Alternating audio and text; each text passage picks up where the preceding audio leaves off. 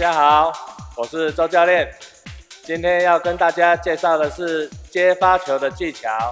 接发球的重点在于制造攻击的机会，以及把握机会做出有效的攻击球，让你在比赛中掌握主动的优势哦。首先，我们先介绍双打的接发球技巧。原则上，双打发球是以短球为主。我们准备接球时，左脚在前，右脚在后，并将重心放在左脚。接发球时，右脚向前跨出，在球一过网时做击球的动作，可以瞄准中场的两侧回球。并屈前施压，迫使对方将球挑起，制造搭档攻击的机会。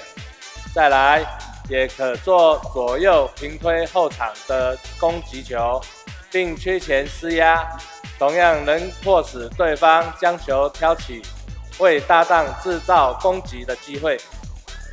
如果对方突然发球至后场，我们必须快速将重心。移到右脚，微微跳起，做出攻击的球路。现在要为大家介绍单打的接发球。单打接发球动作基本与双打相同，但是防守的范围更大，所以我们要往后站一点，才能够容易制造攻击的机会。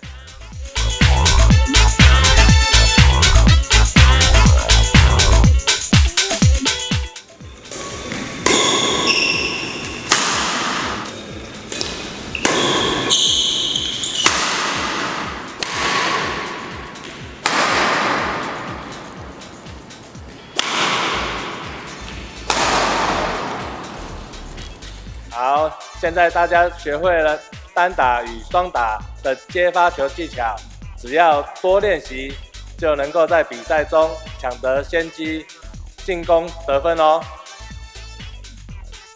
接发球的原则为制造攻击的机会。